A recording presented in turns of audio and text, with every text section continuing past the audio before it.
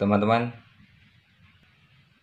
kali ini saya ada sebuah perbaikan eh, blender ya.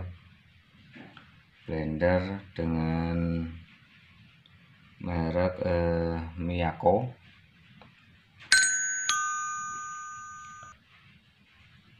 Yang mana eh, problem dari blender ini eh, tidak bisa hidup ya pada saat kita eh, colokan. Oke sebelumnya akan kita coba terlebih dahulu eh, apakah eh, benar eh, blender ini eh, tidak bisa hidup ya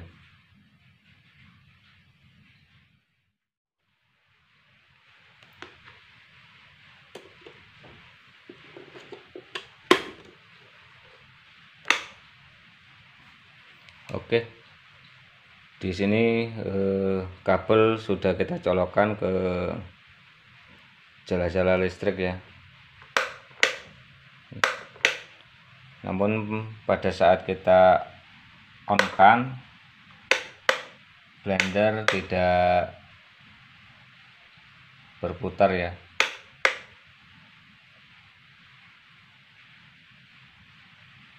Oke, untuk mengetahui uh, problem pada alat ini uh, akan kita bongkar terlebih dahulu ya untuk bodinya.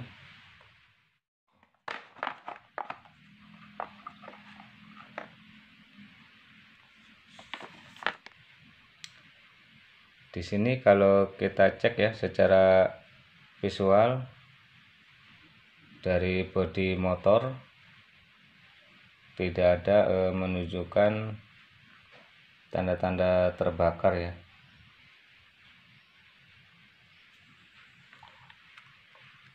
Dan motor pun kalau kita putar rotor dari motor bisa berputar tidak menunjukkan ngejam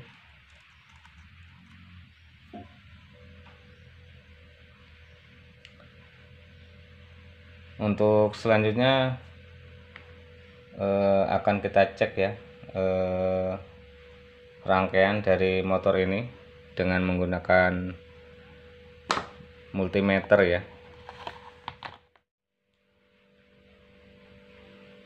Kita akan menggunakan eh, multimeter dengan mode buzzer ya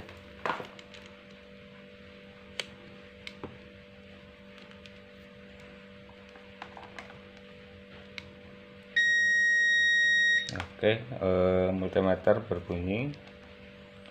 Dan yang pertama adalah akan kita cek adalah eh, kabel ya. Untuk kabel dari eh, mesin blender ini ya. Apakah kabel masih bagus?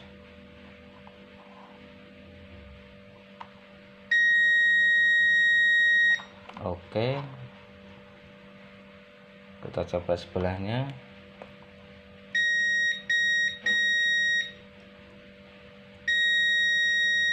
Juga oke okay ya. Berarti untuk kabel power masih bagus. Selanjutnya akan kita cek adalah eh, saklar ya atau switch dari blender ini ya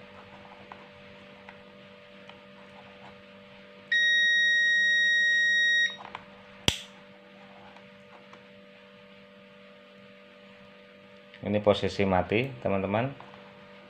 Dan kalau kita ketek on dia harus menyala ya.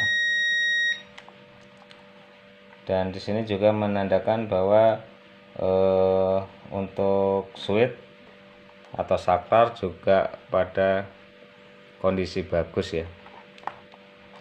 Selanjutnya tinggal motor dari mesin blender ini.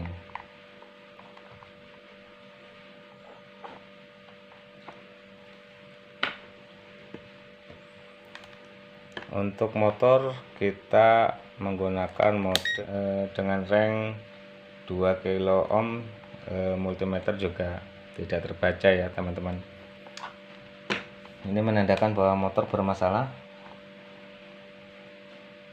dan akan kita bongkar ya eh, motornya. Masalahnya apakah di sikat arangnya atau e, memang ada gulungan yang putus?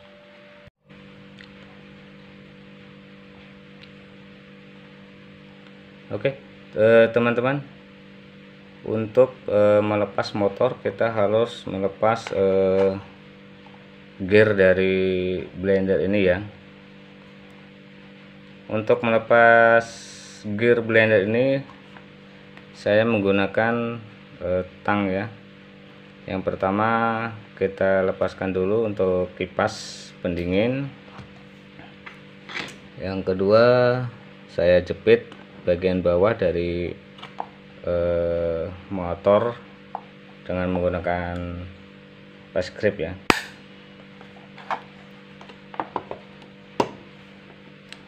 dan di sini eh, kita pukul ya untuk bagian atasnya. Memang untuk pelepasan untuk gear ini ya susah-susah gampang ya. Di sini saya menggunakan eh, kayu ya agar eh, gear eh, tidak pecah ya. Dan selanjutnya kita pukul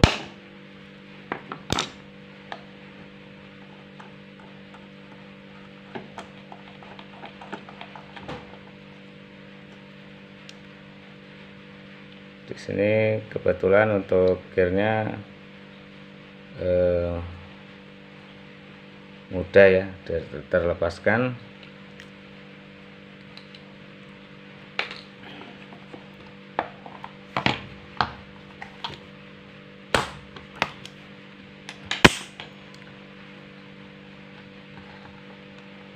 Oke setelah eh, gear terlepaskan kita lepaskan motor dari bodinya ya.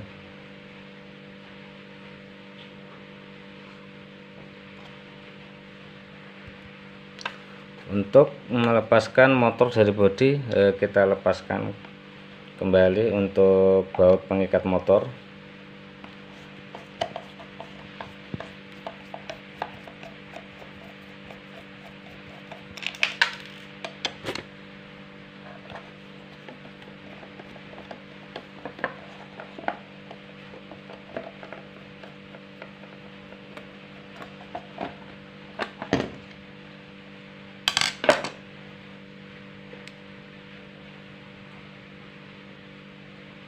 Oke motor udah terlepas dari bodi. Selanjutnya akan kita cek ya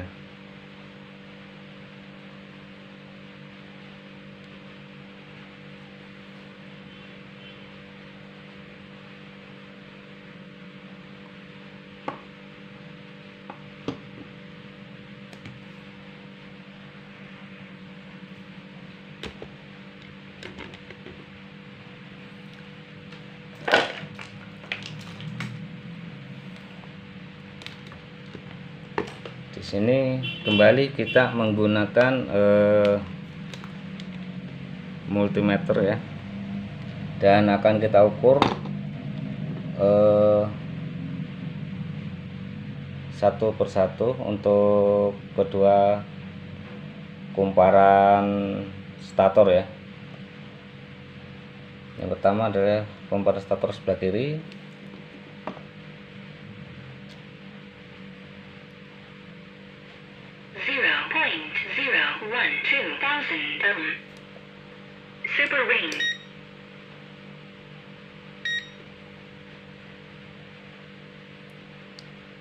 di sini eh, stator sebelah kanan menunjukkan angka yaitu eh, 12 ohm ya.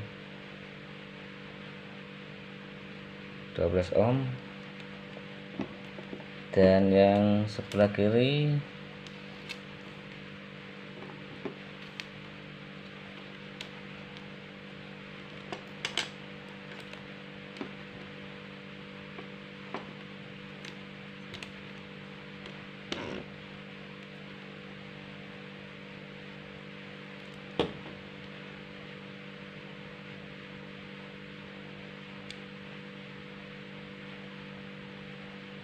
nah kumparan stator yang sebelah kiri ya teman-teman yang putus.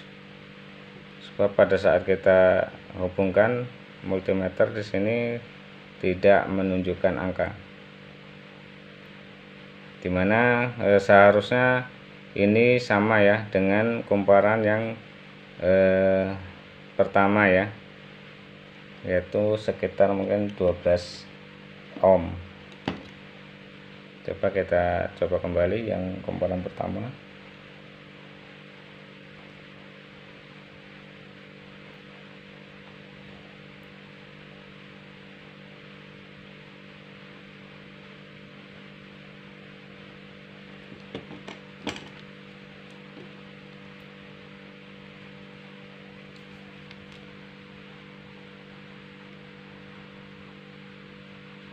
di sini kita lihat teman-teman bahwa eh, salah satu kumparan tidak terhubung dan di sini didapatin sebuah fuse ya fuse atau sekring ya. Kemungkinan eh, sekring ini yang eh, putus ya.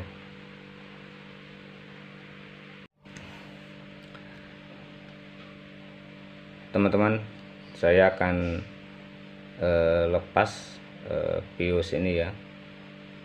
Dan akan saya sambungkan langsung.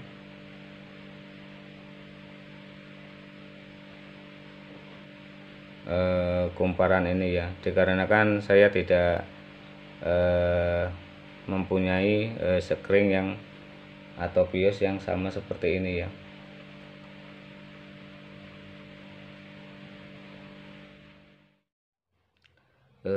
teman-teman BIOS sudah saya lepaskan. Dan sebelum memastikan kembali eh, akan kita cek ya apakah eh, BIOS ini yang menjadi eh, masalah eh, putusnya eh, kumparan eh, stator ya.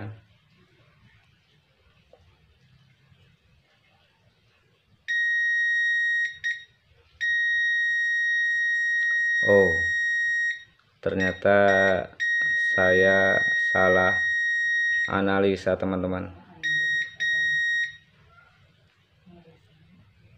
Ternyata eh, BIOS yang biasa menjadi eh, masalah tidak bisa berputarnya motor karena putus ya. Ternyata bagus aja. Berarti masalahnya adalah ada pada kumparan ini sendiri ya teman-teman. Ada terjadi eh, keputusan ya atau putus ya.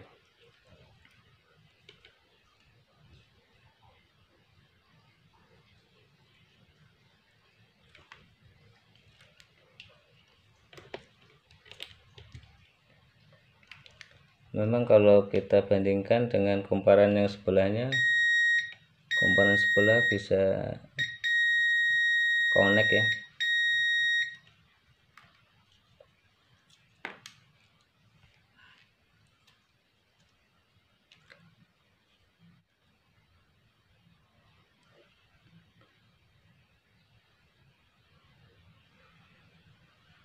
Biasa terjadi eh,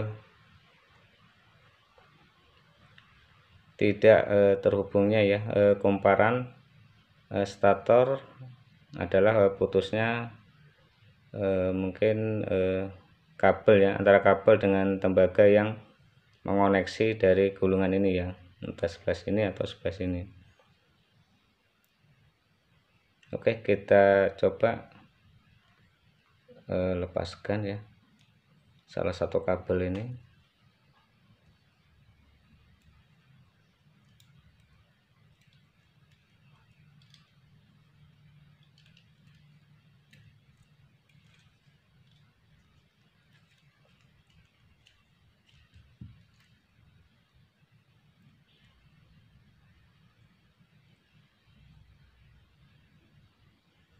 di sini kayaknya eh, putus ya kabel ini ya teman-teman. Dan untuk lebih jelasnya kita coba eh, koneksikan kembali dengan menggunakan multimeter. Apakah eh, gulungan ini terhubung ya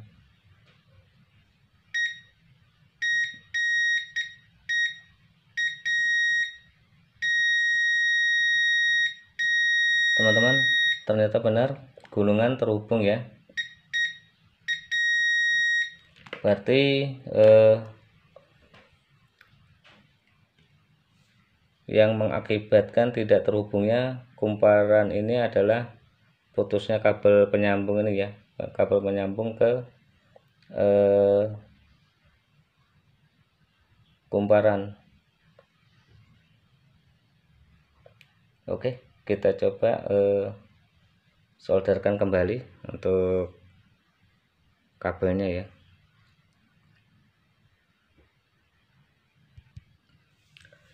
Teman-teman sebelum kita menyambungkan kabel tembaga ke kabel koneksi ya kita kerik dulu dengan menggunakan cutter mungkin ya agar eh, tembaga bisa nempel ya pada kabel pada saat kita solder ya. Dan sini setelah kita kerik ya eh, kumparan bisa terhubung ya pada saat kita tes kembali dengan menggunakan eh, multimeter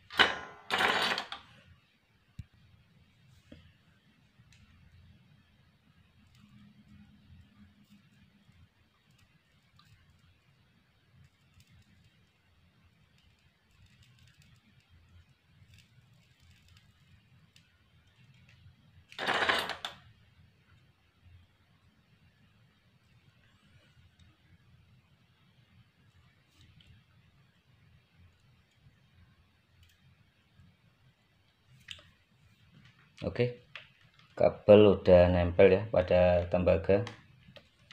Kita coba tes apakah eh, kumparan terkoneksi.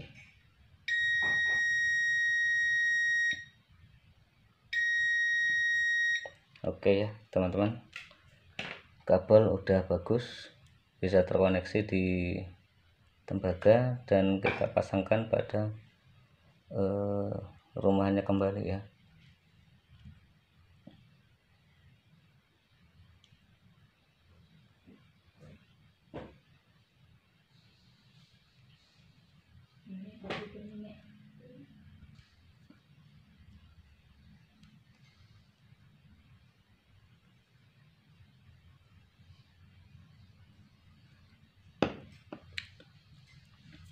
Oke teman-teman berikutnya eh, kita pasangkan kembali untuk bios yang telah kita putus ya.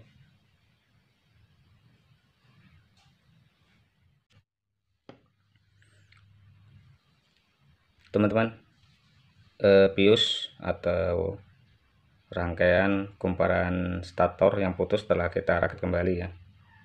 Dan berikutnya kita uji kembali dengan menggunakan multimeter apakah kumparan ini sudah eh,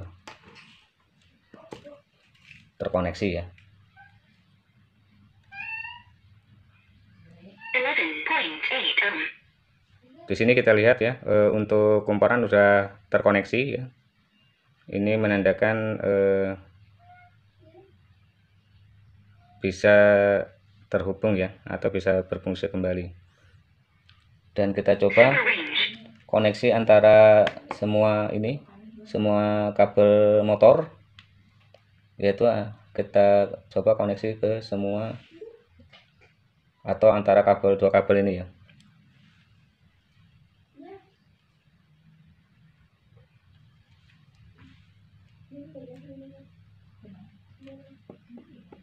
Oke, mungkin kurang besar kita coba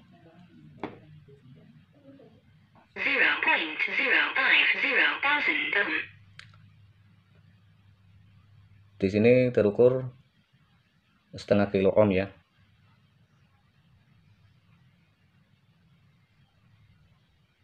Oke.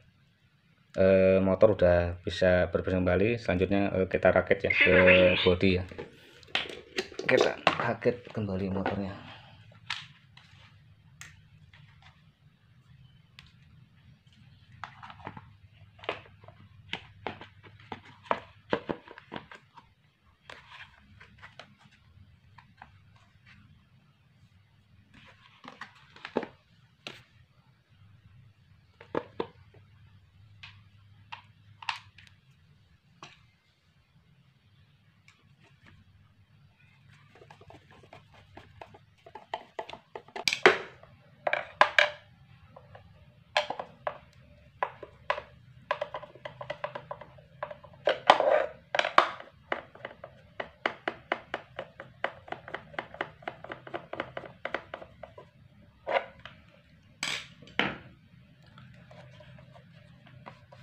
Oke, teman-teman.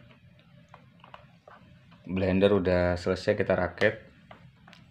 Dan selanjutnya akan kita coba kembali ya.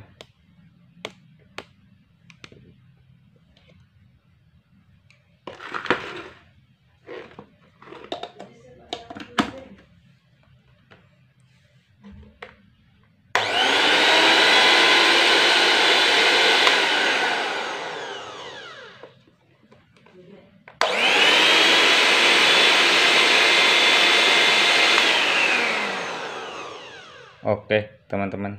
Blender udah bisa kita fungsikan kembali. Demikian, teman-teman.